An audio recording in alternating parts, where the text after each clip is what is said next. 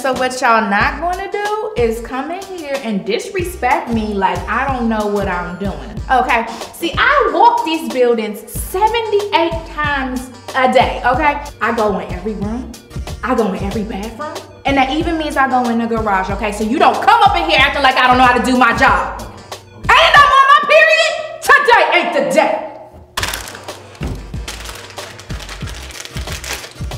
Just do me a favor, please just check the footage. Please. Oh my God, okay, God, okay. Let's look, here, here, there you go. Okay, that's the garage. Look at this, Jenny. I told you she was fine, bro. She probably about to go get something to eat or something. Something to eat we talking about, bro. Oh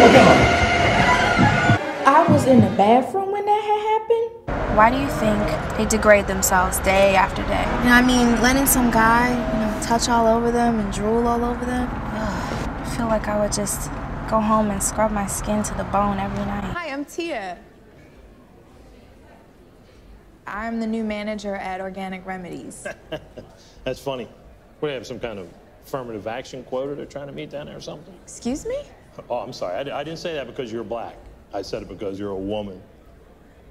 Okay, okay, okay. So, so smoke or chow down on some edibles, whatever tickle your pickle, man. Guys, guys, guys, guys, Pot and me broke up a long time ago. I would just be like incoherent, paranoid Lear. Oh my God, and that would be so amazing. Yeah, you that would be so? yes, that Oh, would be epic. What- uh,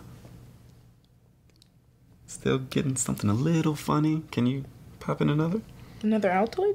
please? Popped in two. couple more. Yes, girl, I cut it all off. Somebody told me I look like Beyonce. Okay. That's um. It's an interesting choice. This is